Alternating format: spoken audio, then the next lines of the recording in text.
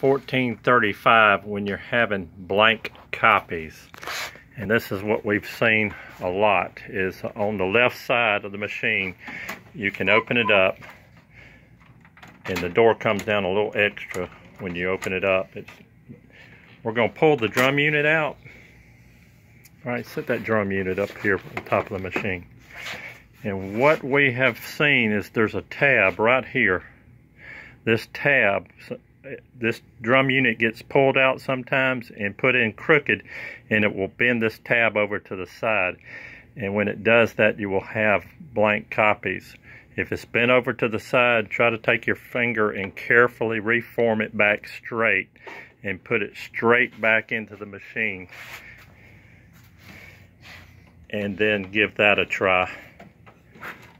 We've seen this a lot, so see if that uh, won't fix the uh, problem for blank copies on the 1435.